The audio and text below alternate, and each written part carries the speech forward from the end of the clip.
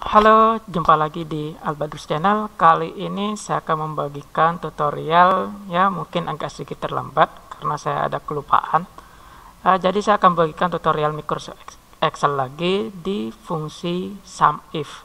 Uh, mungkin teman-teman sudah mengenal apa itu fungsi sum. Ya, fungsi sum adalah untuk menjumlahkan uh, sesuatu nilai dari sebuah ring data atau bisa juga menjumlahkan nilai dari sel 1, sel 2 dan seterusnya. Kemudian apa sih bedanya dengan sum if? Sebenarnya sum if ini kalau teman-teman pernah nonton video tutorial saya sebelumnya tentang fungsi count, count if sama count if, uh, sum if ini sama dengan count if. Nah, kemarin saya menjelaskan count if itu uh, menghitung banyaknya data berdasarkan kriteria tertentu. Nah, kalau sum if menghitung jumlah data berdasarkan kriteria tertentu. Jadi bedanya itu kalau count itu banyaknya data, kalau sum itu adalah jumlahnya. Oke, kita langsung saja kita buka Microsoft Excel-nya. Oke, teman-teman saya sudah menyiapkan uh, beberapa saya belum menjelaskan, nanti saya akan praktekkan di tiga sheet ini. Jadi sum if-nya akan saya terapkan di tiga contoh ini. Dan terakhir nanti saya akan mempraktekkan sum if di uh, soal tes. Oke, ini adalah soal tes yang saya dapat uh, bisa teman-teman cari di Google. Nah, itu ada, ada soal tes seperti ini. Ini saya yang saya dapat tentang sum if sama count if. Nanti kita bisa bedakan keduanya ini. Oke kita mulai saja teman-teman. Kita mulai dari yang pertama dulu. Oke sebelum masuk ke sini saya akan jelaskan dulu apa itu sum if.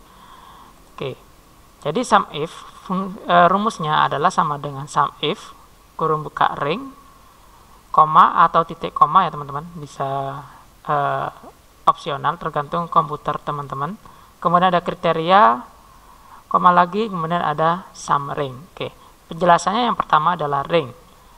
Oke ring di sini merupakan ring data di mana pada ring ini kriteria akan diterapkan. Sel di setiap rentang ini harus berbentuk angka atau nama ring array atau referensi yang berisi angka sel kosong atau blank cell atau nilai teks akan diabaikan. Jadi ingat ringnya ini harus yang berupa angka karena sum itu hanya akan menghitung yang bentuknya angka. Kalau teks gak bisa dihitung. Oke, kemudian ada kriteria. Merupakan kriteria yang akan diterapkan pada argumen ring. Kriteria ini akan menentukan sel mana saja yang akan dijumlahkan. Kemudian kriteria dapat berupa angka, ekspresi logika, referensi sel, teks, atau fungsi yang menentukan sel mana pada argumen rim yang akan ditambahkan. Jadi kriteria ini adalah sebagai pelengkap dari ring. Jadi kriterianya apa sih yang akan dijumlahkan berdasarkan kriteria apa dari ringnya tersebut. Oke. Kemudian ada sum ring. Nah, ini sifatnya opsional ya teman-teman. Jadi bisa diisi, bisa enggak. Jadi gak masalah kalau teman-teman tidak mengisi summary. Summary ini akan kita isi jika ring data yang akan dijumlahkan berbeda dengan ring data di mana kriteria diterapkan, maka ring data yang akan dijumlahkan tersebut ditulis pada bagian ini. Jika argumen ini diisi, maka ring data inilah yang akan dijumlahkan. Jika argumen sum ring ini dihilangkan atau tidak diisi, Excel akan menjumlahkan sel yang ditentukan di argumen ring. Jadi kalau ini yang diisi, maka uh, uh, apa ya? Yang dijumlahkan adalah berdasarkan argumen dari ring ini. Tapi kalau ini nggak diisi, maka yang dijumlahkan adalah di argumen di ring yang pertama, yaitu kriteria dari ring yang pertama. Oke, lebih jelasnya kita langsung ke praktekkan di Microsoft Excel-nya. Oke, di sini sudah punya Di sini ada deretan angka, ada baris angka seperti ini ada 100 sampai sini 400, ini acak ya teman-teman. Oke, misalnya saya akan menjumlahkan yang nilainya hanya 100 saja. Oke, ingat, saya akan menjumlahkan nilai yang nilainya 100 saja. Maka rumusnya adalah Oke, di sini saya akan menjumlahkan nilainya yang 100 ya. Oke, jumlahnya ada berapa? Kita mulai dari rumusnya. Oke, saya taruh sini aja teman-teman sama dengan sum if kurung buka kemudian ringnya oke ini kita blok kemudian koma kemudian kriterianya kita akan menjumlahkannya nilainya cuma 100 saja berarti kita ketikkan 100 kemudian tutup kurung dan enter. Maka dari tabel ring ini yang nilainya 100 itu ada 3 jadi totalnya adalah 300 itu cara yang pertama. Cara yang kedua kita bisa menggunakan sel yang ada angka 100 nya oke jadi ingat selnya ini harus dipisah teman. Jangan ngambil yang di sini. Kita pisahkan di sini aja. Oke biar lebih gampang. Kok ngambil di sini begitu diganti nanti di sini akan berganti nanti nilainya. Jadi kita pisahkan aja sama dengan sum if. Oh sorry teman-teman. Sum if kemudian seperti biasa ringnya kemudian koma kemudian kita bisa gunakan kriterianya itu dengan cara klik seperti ini teman-teman. Ya tinggal diklik kemudian tutup kurung. Kemudian di enter nilainya juga 300 oke karena yang kita klik di sel C1 itu nilainya 100 oke bagaimana kalau kita ingin menjumlahkan data yang nilainya itu lebih dari 100 oke saya akan gunakan lebih dari 100 oke. Di sini akan saya gunakan lebih dari 100 oke teman-teman. Ini mohon maaf ya saya menggunakan fungsi teks di sini. Saya kasih tanda petik depan agar ini berubah jadi teks. Karena kalau nggak saya kasih tanda petik begitu saya enter ini nggak akan berfungsi. Atau nanti keluar peringatan seperti itu. Oke kita coba. Sama dengan sum if. Kemudian ringnya lagi kita blok yang kita jumlahkan adalah lebih dari 100 ingat teman-teman di sini ada simbol lebih dari. Karena lebih dari ini ada sebagai separator pembanding jadi kalau di depannya itu gak ada teks atau data sebagai pembandingnya maka ini harus menggunakan tanda petik. Ya teman-teman karena ini separator pembanding lebih dari 100 maka harus menggunakan tanda petik. Oke kecuali di sini ada pembandingnya di depannya kayak fungsi if. If lebih besar dari if jika sel ini lebih besar daripada apa gitu. Nah itu gak usah dikasih tanda petik. Tapi karena di sini gak ada nada pembandingnya maka ini dikasih tanda petik dua seperti itu. Kemudian itu kurung dan enter. Jadi nilai total nilai-nilai ini kalau dijumlahkan yang lebih dari 100 itu adalah 1020 oke yang masuk lebih dari 100 kan ini ya teman-teman. 200 120 300 dan 400 oke itu untuk yang angka saja. Ini yang masih satu ring ya teman-teman. Eh kita lanjut ke contoh yang kedua. Sekarang kita beralih ke sheet 3 di sheet 3 ini oh, tabelnya berbeda ya teman-teman. Nggak sesederhana dari sheet yang pertama contohnya. Kalau ini gampang lah. Sekarang kita masuk ke sheet 3 yang kita akan hitung adalah jumlah data dari elektronik, ATK sama peralatan RT. Jadi elektronik itu ada 100, ada 50, 85 dan 70 kalau dihitung itu jumlahnya berapa semuanya. Nah, kayak gitu. Jadi kita mulai aja sama dengan sum if. Oke, ini uh, agak berbeda ya teman-teman. Sum if. Oke. Kita akan hitung ringnya dulu adalah ring ini yang kita mau hitung adalah elektronik maka kita pakai tanda petik ingat tulisan elektronik ini harus sama persis dengan yang ada di sini ya teman-teman jangan sampai beda oke kemudian yang dijumlahkan adalah oh sorry oh ini pakai koma maaf komputer saya mintanya pakai koma oke kemudian Oke, yang dijumlahkan adalah jumlah datanya. Kemudian tutup kurung dan enter. Oke, jadi itu ya fungsi dari sum ring yang tadi. Jadi saya ulangi lagi, saya masukkan sum if. Ini kalau kita ingin menghitung banyaknya jumlah data dari elektronik. Ringnya, kalau tadi kan ringnya eh, kita langsung ke angkanya, kayak gitu. Nah, sekarang ringnya kita mau menentukan elektronik, berarti ring elektronik dulu yang kita masukkan jadi sama dengan sum if jadi ring elektronik dulu seperti ini kemudian kriterianya apa yang mau dihitung adalah elektronik oh sorry elektronik oh sudah nah, ini koma ya teman-teman kemudian elektronik oke okay. koma kemudian sum ringnya sum ring ini yang akan dihitung sama fungsi SUMIF. Yang dihitung apa? Ingat yang dihitung itu harus sering yang berisi angka. Jadi ini yang kita masukkan jadi dengan begini maka yang dihitung adalah dari ring ini yang dihitung adalah elektroniknya yaitu di ring yang sebelah sini. Nah, itu jadi yang dihitung adalah jumlahnya data dari elektronik. Oke kurung dan enter. Oke cara yang sama kita terapkan ke ATK dan peralatan RT oke kita langsung aja. Sum if kita masukkan ringnya kemudian koma mana sini ATK ATK dan koma dengan ringnya ini tutup kurung dan enter. Lanjut peralatan RT sama dengan sum if. Ush, kurung buka. Ring dari kriterianya dulu. Kriterianya apa? Uh, peralatan RT Oke, ini peralatan rumah tangga teman saya singkat aja. Kemudian jumlahnya yang dihitung. Dan enter. Oke itu teman-teman. Jadi itu adalah penjelasan dari fungsi sum if yang menggunakan sum ring oke kita masuk lagi ke contoh yang keempat. Oke di sini contoh keempat saya buat agak lebih rumit biar teman-teman lebih paham tentang fungsi sum if ini. Oke, di sini kita suruh menghitung kertas folio, pensil, ballpoint, pensil 2B dan 3B dan folio. Ah, ya, itu dah.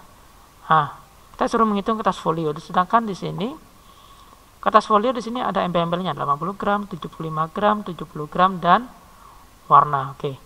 Kalau kayak gini, kita bisa menggunakan rumus teks, teman. Rumus teks itu bisa pakai tanda bintang, tanda tanya dan semacamnya ada tanda dan dan seterusnya.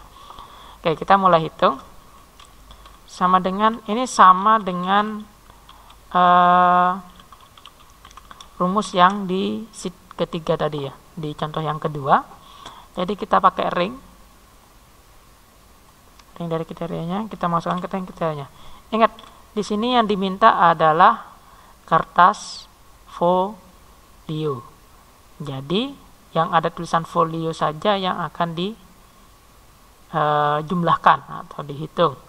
Maka teman-teman kita akan menggunakan tanda bintang, sorry, bintang, kemudian di sini uh, folio, bintang lagi tanda petik. Oke, bintang ini maksudnya uh, depannya itu ada teks, belakangnya itu ada teks. Jadi bintang ini sebagai pengganti. Jadi maksudnya bintang folio bintang itu uh, menghitung jumlah kriteria dengan ada kata folio di tengah-tengahnya. Nah, kayak gitu teman kemudian koma kemudian di sini ringnya. Kalau sudah tutup kurung dan enter. Oke di sini ada 292.500 jadi ini kalau dihitung semua totalnya sekian. Ada folionya. Oke kemudian ada pensil. Hei, pensil ada di depan, gak ada di tengah. Jadi, caranya sama dengan sum if kurung buka ring kriterianya. Dan kita masukkan kriterianya. Kriterianya tanda petik pensil bintang. Eh paham ya teman-teman? Tanda petik pensil bintang tanda petik. Artinya setelah pensil ada teks. Pokoknya depannya pensil gitu aja. Intinya seperti itu teman-teman. Kemudian ring summary-nya yang mau dijumlahkan tutup. 13.000 ya teman-teman. Oke kita coba hitung. tujuh setengah dua setengah sama 3000 oke benar 13.000 sekarang ballpoint oke untuk ballpoint ini sama dengan uh, pensil ya cara ngitungnya. Ini kemudian tanda petik ballpoint kasih bintang. Eh sorry tanda petik. Koma kemudian sum ring. Tutup kurung dan enter. Oke. Sekarang pensil 2B dan 3B saja. Ah. Kalau kita terapkan fungsi yang ini yang menggunakan pensil bintang berarti semua pensil yang ada kata pensilnya akan dimasukkan. Yang penting pensilnya itu kata pensilnya ada di depan Oke, tapi fungsi itu nggak bisa diterapkan di sini. karena warna ini pensilnya juga di depan. Yang sedangkan yang disuruh hitung adalah 2B dan 3B sama dengan fungsi bintang ada fungsi tes lagi yaitu menggunakan tanda tanya. Satu tanda tanya itu mewakili satu karakter. Jadi kayak gini penerapannya teman-teman. Sama dengan sum if kurung buka. Kita masukkan ring kriterianya kemudian kriterianya apa? Ingat selalu diawali dengan tanda petik. Kita ketikkan pensil kemudian tanda tanya sebanyak karakter dari 2B dan 3B ingat spasi dihitung satu karakter. Jadi mulai dari pensil ke 2B sama 3B itu banyaknya tiga karakter. Jadi kita masukkan tanda tanya sebanyak tiga kali. Menutup kurung eh tanda petik dua lagi koma tutup kurung dan enter jadi yang dihitung hanya pensil 2B dan 3B karena hanya tiga karakter di belakang kata pensil. Sedangkan warna ini lebih dari tiga karakter, makanya tidak dihitung. Oke, penerapannya folio 80, 70, 75 dan 70 gram itu sama dengan pensil 2B dan 3B ya teman-teman. Oke, kita langsung aja sum if kurung buka ring kriterianya koma kemudian kriterianya kemudian dikasih cut bintang kemudian di sini karena folio di tengah ya teman-teman. Folio kata folio di tengah di depannya itu ada kata kertas. Oke folio di tengah kemudian kita hitung mulai dari folio ini ke 80 sampai gram ini ada 1 2 3 4 5 6 oke 6 karakter. Jadi tanda adalah sebanyak 6 5 6 tanda petik lagi koma. Yang mau dihitung. Oke enter. Oke ini tinggal kita rubah ke counting. Countingnya ini oh masih dolar. Jadi kita ke sini dulu teman-teman. Counting kita ganti ke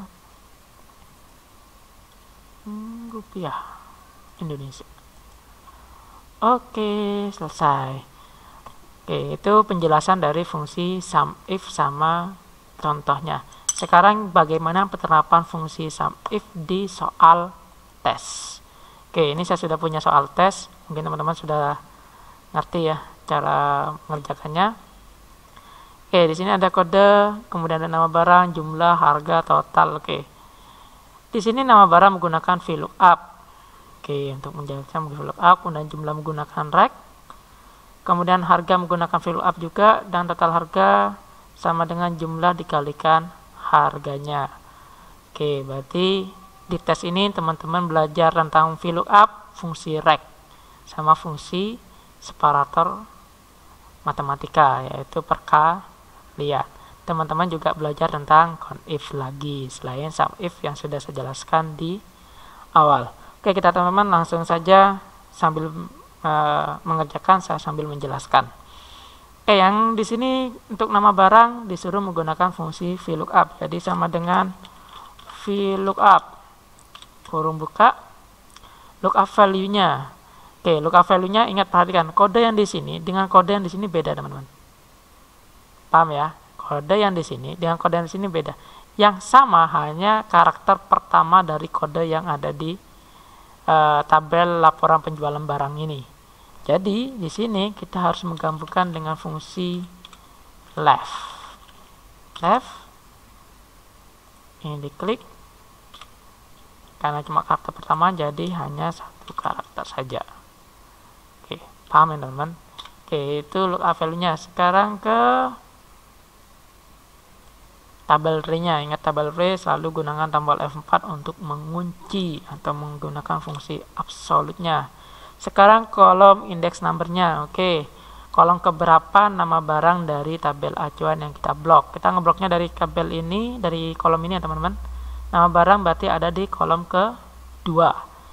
Jadi kita dengan dua. Dan di sini, oke, untuk ini saya sudah menjelaskan di tutorial sebelumnya. Untuk lebih tahu penerapan fungsi true sama false, silakan teman-teman bisa lihat video tutorialnya di uh, link yang sudah saya sediakan di deskripsi video kali ini. Oke, kita pilih yang false. kemudian tutup kurung dan enter oke ini tinggal di copy aja oke sekarang jumlahnya jumlahnya menggunakan fungsi rect oke ingat teman-teman kode ini kita mengambil jumlah itu dari kode. Kode ini adalah karakter. Jadi hasilnya nanti pada saat kita potong rect maka hasilnya adalah karakter bukan angka lagi. Agar berubah angka, berarti kita harus memasukkan rumus baru yaitu value. Value itu fungsinya adalah merubah karakter angka, jadi karakter yang bentuknya angka menjadi e, bentuk numerik atau angka utuh itu. Jadi sama dengan, jadi saya nggak langsung gunakan rect ya teman-teman. Saya akan gunakan value dulu, baru di sini rect. Jadi value ini akan mengkonversi karakter ke angka secara utuh. Direct sini oh, berarti ada dua untuk kurung untuk kurung lagi enter oke okay. Ini ya teman. Jadi kalau ini generalnya karena sudah angka utuh jadi dia sebelah kanan. Seandainya saya tidak menggunakan value oke ini value nya saya hapus. Oke teman-teman. Oke value nya saya hapus ya teman-teman. Saya hapus saja value-nya. Ini misal saya tidak menggunakan value maka hasilnya seperti ini. Oke, jadi teman-teman bisa lihat antara yang menggunakan value dan tidak menggunakan value bisa teman-teman lihat bedanya ini karena sudah terindikasi karakter jadi dia rata kiri kalau angka di Excel itu pasti rata kanan oke Mungkin teman-teman bertanya, sama saja tinggal dirubah ke alignment rack-nya. Nanti dia tinggal berubah jadi kanan. Pada saat dijumlahkan atau dikalikan itu gak ada masalah. Tapi akan bermasalah jika angka tersebut kita masukkan ke fungsi logika. Maka itu akan jadi bermasalah kalau teman tidak tahu asal-usul angka tersebut. Kalau angkanya itu murni angka gak ada masalah pada saat kita masukkan ke fungsi logika. Tapi kalau bukan murni angka, itu kalau nggak tahu asal usulnya akan jadi masalah. Oke, sebaiknya kita gunakan fungsi value sebelum right. Oke, sedangkan untuk harga itu menggunakan fungsi VLOOKUP dengan melihat nama barang saja ya teman-teman. Ya, kita kalau pakai ini kita pakai rumus rek lagi. Lama. Jadi kita langsung di sini aja. VLOOKUP kurung buka. Oke, lookup value-nya kita lihat nama barang aja. Tabel ringnya ingat teman-teman yang jadi buka value adalah nama barang berarti kita ngebloknya mulai dari nama barang jangan dari kode lagi ya dan tekan F4 kolom kedua sini false. Kemudian enter. Hmm. keyboard keyboard. Sama ya oh sorry teman-teman. Ingat yang saya blok di sini ternyata uh, hmm, yang saya blok ternyata di sini ada tiga kolom teman-teman C D E. Jadi ini menjadi satu tapi ini ada tiga kolom. Berarti ini bukan kolom kedua tapi kolom ketiga. Oke. Jadi itu teman-teman. Jadi kalau soal tes itu kadang-kadang menipu seperti ini. Jadi alangkah baiknya kalau teman-teman lebih teliti lagi. Oke untuk angkanya saya gunakan number aja separatornya. Oke hmm, kayaknya nggak etis ya. Kalau harga menggunakan nggak ada kata rupiahnya. Kita pakai counting aja. Kan rupiah.